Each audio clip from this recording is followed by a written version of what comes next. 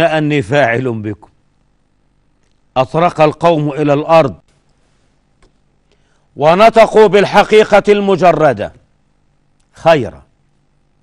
أخ كريم وابن أخ كريم أي سيدنا عبد الله يحلو لبعض المتنطعين المتفيقهين المتسجخين أن يقولوا أن والديه كافران هالكان كبرت كلمة تخرج من أفواههم إن يقولون إلا كذبا لأن والديه ناجيان بنص القرآن وما كنا معذبين حتى نبعث رسولا.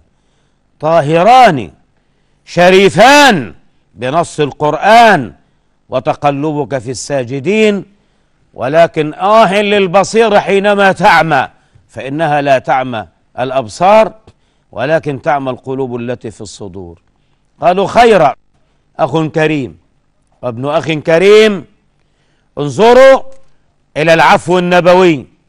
قال اذهبوا فأنتم الطلقاء لا تسريب عليكم.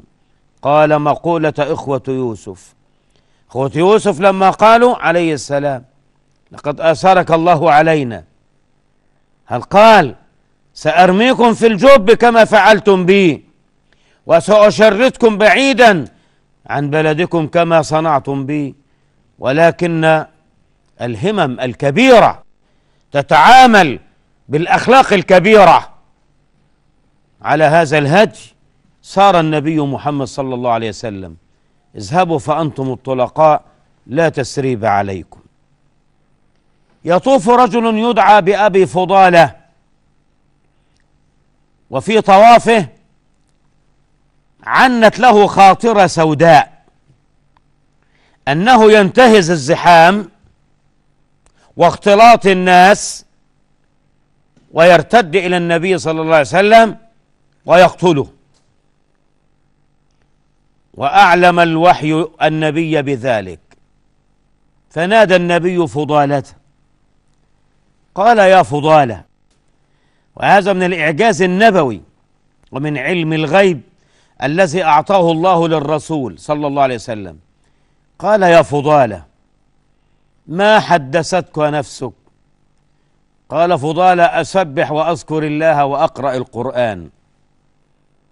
انظروا أحبائي ماذا صنع النبي بهذا الرجل؟ قال الراوي ضحك ووضع يده على صدر فضالة قال بل حدثتك نفسك أن تقتلني. قال فضالة فوالله ما رفع يده من على صدري إلا ووجدت برد الإيمان ووجدت الذي كان في قلبي قد انصرف فهو أحب الخلائق إلي. وأبو سفيان الرسول جعل له قدرا ظاهريا مع أنه لن يطبق في أرض الواقع.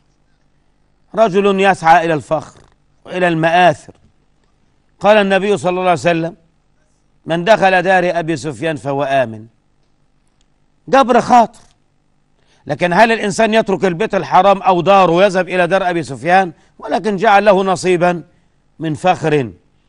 وأبو سفيان لما دخل على هند بنت عتبة قال لها أترين يا هند؟ ما فعل لمحمد بن عبد الله بن عبد المطلب. هذا أمر من الله تعالى. قالت لعله يكون. قال والله إني لقاتل هذا الرجل. ثم أتى أبو سفيان إلى النبي صلى الله عليه وسلم. فتبسم النبي كذلك. قال تعالى يا أبا سفيان.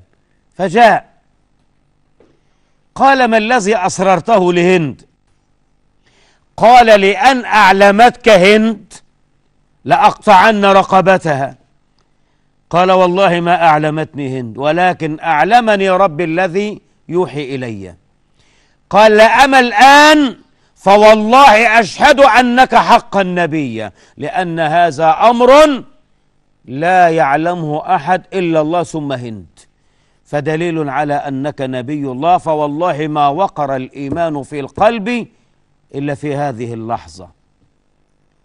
عفو وتسامح وإخاء ولم شمل وعدم بعث الثأرات والخصومات.